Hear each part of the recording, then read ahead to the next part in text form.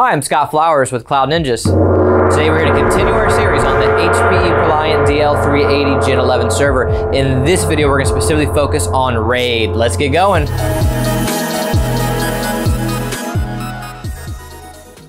Well, hey, thanks for stopping by today to learn a little bit more about the HPE ProLiant DL380 Gen 11 server. Do us a favor, find anything that helps you in this video, click that like and smash that subscribe. All right, we'll top in. Uh, this video will be specifically dedicated to RAID and will be a continuation of our series on the DL380 Gen 11 as a whole. So if you're just joining us, hey, you might want to check out some of the other videos that we've done in the series because we cover a whole bunch of topics. So uh, let's get started what we're going to do in this video. So we are going to start by putting up a nice comparison chart of the compatible HPE RAID controllers for your Gen 11 server.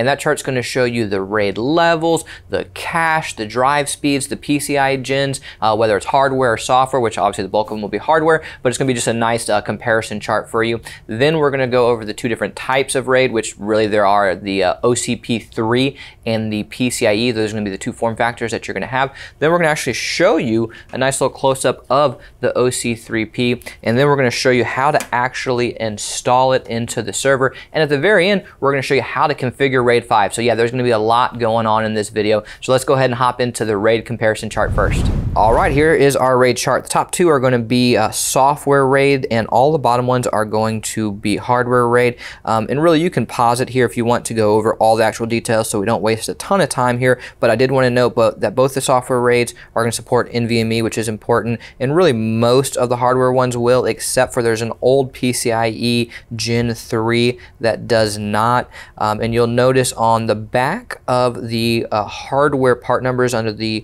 uh, RAID options in the first column, it has a dash P or a dash O. That P will call out if it is a PCIe form factor, and the O will call out if it's an OCP3 form factor.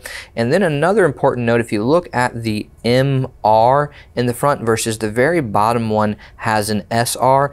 The MR RAID controllers cannot be used for Smart Storage Administrator, so they do not support SSA or Smart Storage Administrator.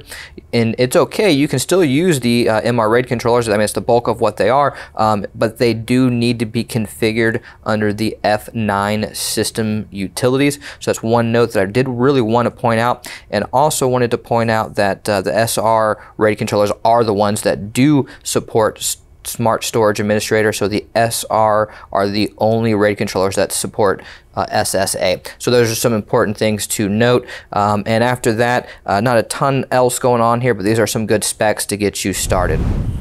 All right, so I've got my ESD gear on, so we are safe to uh, handle the parts, install them in the machine. Uh, so first things first, um, I wanted to show you a version of the OCP3 that we're going to be installing. All that we're going to need to do our install is the T10-bit, but here is your OCP3. It's a, I love this design to be quite honest with you. You'll see it when we install it in the back. Uh, it just pops right in. Um, so it's a pretty cool card overall. So we'll show you how to do the install right now. So just make sure your latch is set to unlock. Pop your top. And that's one thing I also love is how clean the top of a brand new server is compared to some of the used ones out there. Um, so now what we're going to need to do is install a RAID controller over here. So this is where the OCP slot is. It's in the back down here. So all we're going to need to do is remove our PCIe riser right here. So just pop these two blue tabs up and then you're going to want to essentially unscrew them and it's going to lift your riser from the board. So now we can actually remove our riser and we're just going to take this and put this to the side. And your OCP will literally just slide into the back right here. These two black plastic pieces have a groove that it'll just slide right into and it'll go right up to the connections and you're just going to want to push this in. You'll hear a nice firm click. Push it all the way in. There you go. So now it is fully in. All right, so now we're going to do the two cables. So we are just going to take this first cable right here and we're going to plug it in over here and it's really simple. It will just line up and pop right in. You hear it click into place. Now we're going to go nice and slow with this white cable because it is definitely very fragile. So we're just going to line this up and we're going to install it right here. And we're just going to simply just push this in. You'll hear it click in and just nice and gentle. So now this is fully in. So we're going to go ahead and get the cables put back over here. And really, I need to get a zip tie to kind of clean these up, but the risers will uh, essentially hide them when we put it back down. But I do like to have the cables just cleaned up a little bit. All right, so now we're gonna go ahead and install our riser back. So we're just gonna line everything up and I'm gonna hold my cables over here just to keep them out of the way. You'll see all these will line up over here. They're gonna line up in the back and we're just gonna push this down.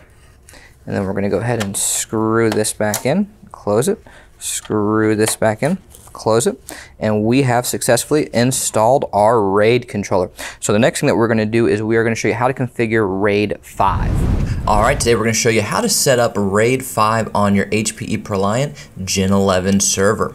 The method that we're going to use is going to access the system's utilities and we're going to require a physical or software RAID in order to see the drives and configure them. This is a great method to configure RAID levels since according to HPE, the RAID cards cannot be configured on your SSA or your Smart Storage Administrator. So what we're going to do is a different method and show you exactly how to do it. The items that you're going to need, your RAID card, of course, which can be PCIe or OCP, your server, of course, and at least three drives. This method works with both SR and MR RAID controllers. So here's how we're going to do it. First thing you're going to do is install all your drives into your server, turn your server on. While the server initializes, press F9 to access the system's utilities. This might take a little bit of time until the server finishes booting. On the system's utility page, click System Configuration.